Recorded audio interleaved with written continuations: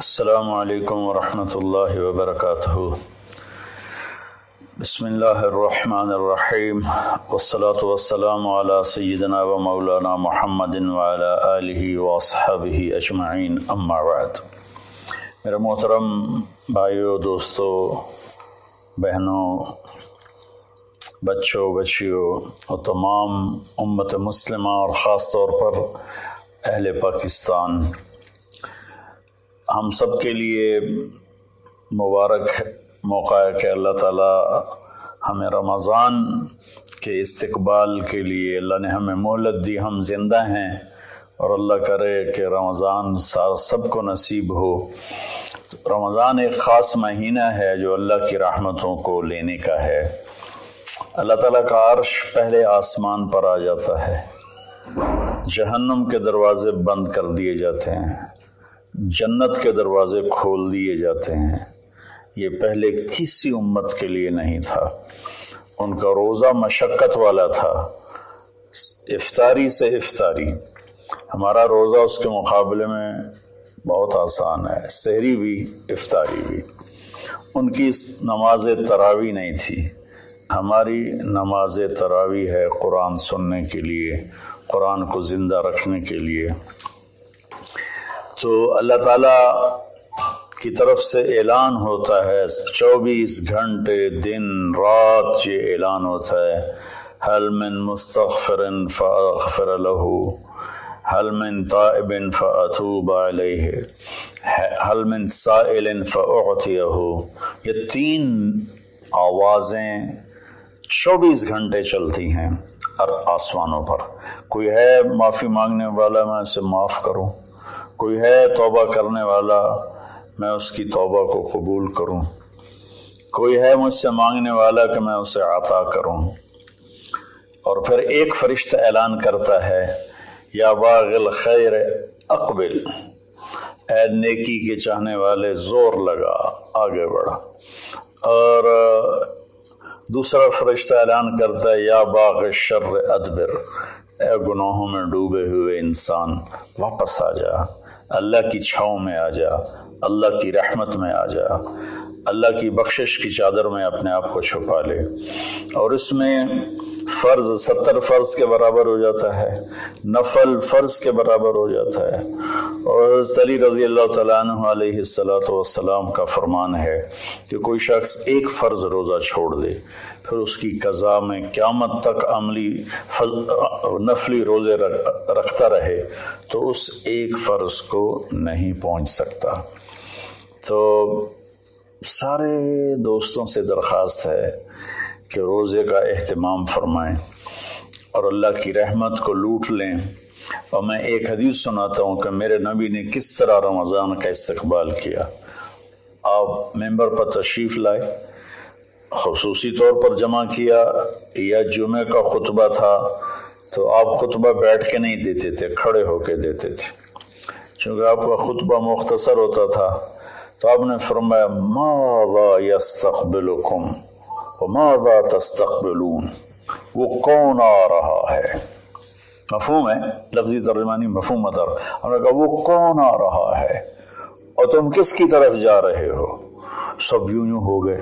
پھر آپ نے کہا، ماذا یستقبلکم و وماذا تستقبلون؟ وہ کون آ رہا ہے؟ اور تم کس کی طرف جا رہے ہو؟ سارے صحابہ میں ہلچل مچ گئی۔ تیسری دفعہ ماذا یستقبلکم وماذا تستقبلون؟ وہ کون آ رہا ہے؟ کس کی طرف جا رہے ہو؟ سارے پیچھے مڑ مڑ کے دیکھیں، پیچھے تو کوئی بھی نہیں تو حضرت عمر رضی اللہ تعالیٰ کھڑے ہوئے علیہ السلاۃ والسلام۔ انہوں نے فرمایا رسول اللہ اوح نزل یا رسول اللہ، کوئی وحی آئی ہے؟ آپ نے فرمایا اللہ کر نہیں۔ عدو حضر۔ اللہ نے آپ کو آنکھ دی ہے دیکھنے والی۔ تو کیا کوئی دشمن مدینے کی طرف آ رہا ہے اور آپ نے دیکھ لیا ہے اور وہ ہم پر حملہ کرنے آ رہا ہے، ہم تیاری کریں۔ آپ نے کہا، اللہ۔ نہیں، یہ بھی نہیں۔ تو انہوں نے پوچھا، بھائی، یا رسول اللہ، کون آ رہا ہے؟ تو آپ نے کہا، رمضان آ رہا ہے۔ سبحان اللہ۔ کیا خوبصورت انداز تھا متوجہ کرنے کا، عظمت بٹھانے کا حیبت بٹھانے کا کا رمضان آ رہا ہے۔ پھر آپ نے اس کے فضائل سنائے کہ اس میں جنت کے دروازے کھل جاتے ہیں، جہنم کے دروازے بند ہو جاتے ہیں۔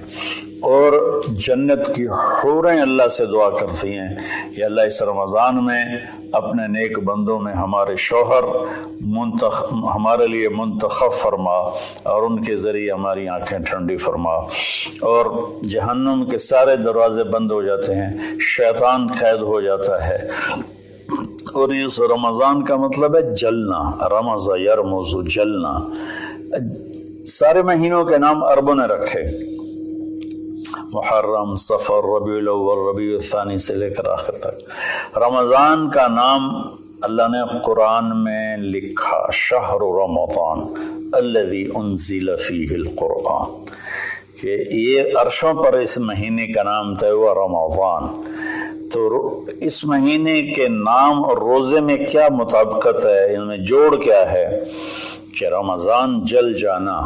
اس میں جب کوئی روزہ رکھنے والا، روزہ رکھنے والی جب روزے رکھتا جاتا ہے تو اس کے گناہ پچھلے سال کے جلتے جاتے ہیں، جلتے جاتے ہیں، جلتے جاتے ہیں۔ یہاں تک اللہ جیسے لوہے کو صاف کیا جاتا ہے آگ سے، اور دھاتوں کو صاف کیا جاتا ہے آگ سے، اور ظاہری میل کو صاف کیا جاتا ہے پانی سے۔ تو پورے سال میں جو گندگیاں ہمارے اندر گھس جاتی ہیں، کبھی حسد، کبھی بغض، کبھی کین کینہ کبھی کچھ کبھی کچھ۔ تو اللہ تعالیٰ اس کو اندر سے کھینچ کے باہر نکال کے صاف کر دیتا ہے اور عید کی رات کہتا ہے کہ فرشتوں سے، جن مزدوروں نے مزدوری پوری کر دی ہو تو اس کا کیا، اس کے ساتھ کیا ہونا چاہیے؟ تو سب نے عرض کیا، اس کو مزدوری ملنی چاہیے۔ تو پھر اللہ تعالیٰ فرماتے ہیں، تم گواہ رہو، میرے بندوں نے دن میں روزہ رکھا، رات کو قیام کیا اور میرا قرآن سنا، میں اس مزدوری کے بدلے ان کے سارے گناہ معاف کرتا ہوں۔ تو میری درخواست ہے تمام بہن بھائیوں سے کہ ہم اس کی تیاری کریں۔ ایک تیاری ہوتی ہے ظاہری جو ہم چیزیں اکٹھی کرتے ہیں۔ ایک تیاری وہ ہے جس کے بغیر ہمارا روزہ قبول نہیں ہوگا۔ میرا نبی کا فرمان ہے، چار آدمی ایسے ہیں۔ جن کی للت القدر میں بھی بخشش نہیں ہوتی تو رمضان کی باقی راتیں تو اس سے ادنا ہیں کہ چار اگر قسم کے گناہ چاروں قسم میں ہوں یا ایک قسم میں ہو، بخشش نہ ہونے کا مطلب یہ ہے کہ اگر وہ توبہ نہیں کرے گا تو اس کا روزہ اس سے معافی نہیں دلا سکے گا۔ توبہ کرنے پر تو کفر معاف ہو جاتا ہے۔ توبہ کرنے پر تو شرک معاف ہو جاتا ہے۔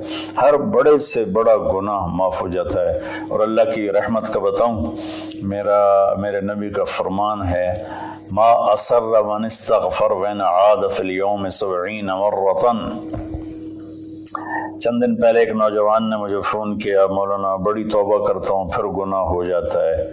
دس پندرہ دن سے اوپر نہیں گزرتا ہے، پھر گناہ ہو جاتا ہے۔ پھر توبہ کرتا ہوں تو یہ توبہ کا مذاق ہے۔ میری بخشش نہیں ہوگی وہ دوڑ دوڑ رونے لگا ٹیلی فون پر۔ تو جب تھوڑا اس کے آنسو روکے تو میں نے اس کا بیٹا تو میں ایک حدیث سناتا ہوں کہ میرے نبی کا فرمان ہے، جو دن میں ستر دفعہ توبہ توڑے اور ستر سے مراد دس سات ستر نہیں۔ عربی میں ستر سے مراد سے مراد ہوتا بے شمار۔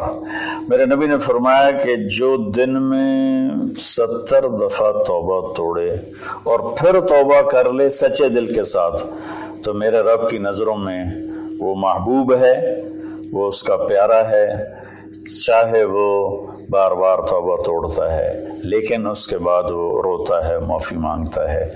اور آخری سانس تک اللہ نے توبہ کا دروازہ کھلا رکھا ہے۔ باب توبت مفتوح معلوم یغرغر۔ جب تک گلے کا وہ گھنگرو بند نہیں ہوتا، اس وقت تک اللہ تعالیٰ بندے کی توبہ کے لیے دروازہ کھول کے بیٹھا ہوتا ہے۔ موت نظر آنے لگے، پھر کہے، یا اللہ میری توبہ۔ تو وہ قبول نہیں ہے، لیکن اس سے ایک منٹ پہلے اسے پتہ نہ ہو وہ توبہ کر لے تو اللہ اس کی توبہ معاف کرتا ہے۔ میں ایک دفعہ جماعت میں گیا نواب شاہ، تو ایک گھر میں بڑے وڈیروں کو کٹھا کیا۔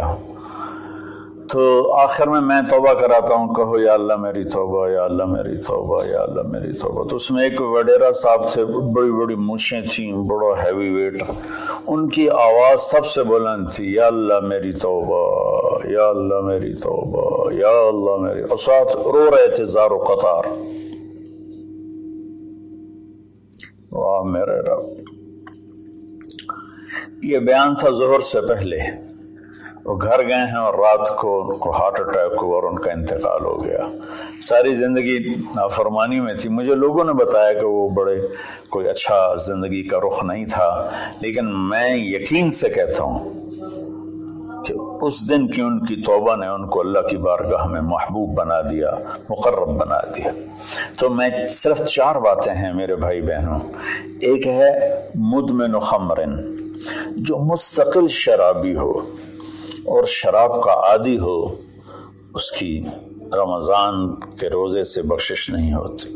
عاقل والدی ہے جو والدین کو پرزے پرزے کر دے۔ والدین کا اونچا بول کبھی کبھی بولا جاتا ہے، کبھی بدتمیزی ہو جاتی ہے۔ اس کو نافرمانی نہیں کہتے۔ جو اپنے والدین کے دل کے ٹکڑے ٹکڑے آنکھ پھاڑنے کو کہتے ہیں۔ یہاں اللہ تعالیٰ نے اللہ کے نبی نے نافرمانی کا لفظ استعمال نہیں کیا بلکہ حقوق حقوق کا مطلب مطلب کسی چیز کو پھاڑ کے پرزے پرزے کر دینا۔ تو جو جو ماں باپ کو اتنا زخمی کرے، اتنا زخمی کرے کہ ان کی آہیں نکلیں، ان کے آنسوں نکلیں، اس کی بھی بخشش نہیں ہوگی تیسرا، جو قاطع الرحم، جو رشتہ داروں سے لڑتا رہتا ہو کسی سے نہ بنا کے رکھے، نہ بھائی سے، نہ بہنوں سے، نہ چاچے سے، نہ مامے سے۔ ماں اور باپ کی طرف سے جتنے رشتے ہیں، وہ رشتے زویل ارحام کہلاتے ہیں۔ جو ان رشتوں کو توڑتا ہے اور ان سے لڑتا بھڑتا ہے، اپنے آپ کو سپیریئر سمجھتا ہے۔ یہ سب گند ہے، یہ سب ایسے ہیں۔ ایک اس کی بخشش نہیں ہوتی۔ اور چوتھا ہے المشاہن جو دل میں کسی کے لیے بغض پالتا ہو، نفرت رکھتا ہو، حسد رکھتا ہو، المشاہن کا لفظ ان ساری چیزوں پر ہے۔ تو میرے بھائی بہنوں، اس میں جو چیز سب سے زیادہ عام ہے نا، وہ آخری ہے۔ ہر آدمی شرابی نہیں ہے۔ اللہ کا فضل ہے، کروڑوں مسلمانوں نے کبھی شراب کو دیکھا بھی نہیں ہے۔ ہر آدمی ماں باپ کا نافرمان نہیں ہے۔ ہر آدمی اپنے رشتہ داروں سے لڑا ہوا نہیں ہے۔ لیکن ہر آدمی اپنے دل میں کسی نہ کسی کا بغض پالے بیٹھا ہے، کسی نہ کسی کی نفرت لیے بیٹھا ہے، کسی نہ کسی کا حسد لیے بیٹھا ہے، کسی پر غصہ لیے بیٹھا ہے۔ یہ چونکہ انسان کی فطرت ہے کہ وہ منفی چیزوں کی طرف جلدی جاتا ہے نیگیٹیوٹی کی طرف ایسے جاتا ہے جیسے پانی اوپر سے نیچے۔ اور پازیٹیو چیزوں کی طرف جانا مشکل ہوتا ہے، جیسے نیچے سے اوپر جانا۔ تو اس میں پھر آدمی پھسل جاتا ہے۔ ایک اس ہمارے سوشل میڈیا نے اس طرح نفرت پھیلا دی ہے، جھوٹی باتیں کر کے، جھوٹے عنوان لگا کر۔ تو میری گزارش ہے سارے بہن بھائیوں سے، ہم رمضان کی تیاری کریں۔ کیا تیاری کریں؟ ہم اللہ نہ کرے کوئی شرابی ہو، کوئی ہے تو اللہ کے واسطے توبہ کر لے۔ اللہ نہ کرے کہ کوئی ماں باپ کا نافرمان ہو، ہیں بہت سے ہیں، کوئی ہیں تو وہ توبہ کر لیں۔